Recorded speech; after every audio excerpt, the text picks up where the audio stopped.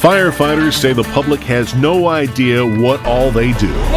Man vs. Fire, a new reality show about the working lives of firefighters, takes you into the stations. You cannot cheap out on dinner. Gotta make sure I keep the important stuff on board my coffee cup and my cigars. We're at the standard that everybody else is measuring.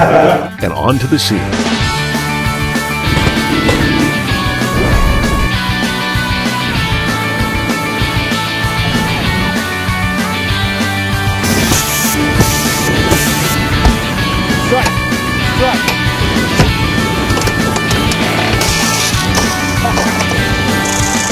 In every community, firefighters are bedrock, the salt of the earth.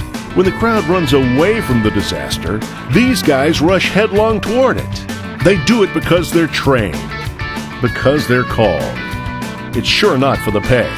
The brotherhood among firefighters runs deep. Different cultures, different backgrounds. When you live in a house for 24 hours, you actually become a pretty close knit family. We spend a third of our lives together. Kind of hard not to get to know somebody. Robbie, it's the man union. It's Time to turn your card in. At some point, just about every kid dreams of becoming a firefighter when they grow up. Here are the men and women who live that dream in all its grit and sweat, conflict and camaraderie. Cops and firefighters have one thing in common. When they show up, someone is having a bad day.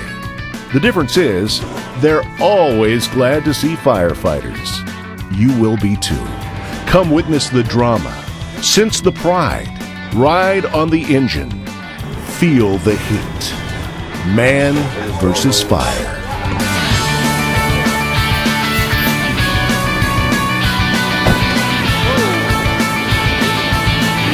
You guys did one hell of a job.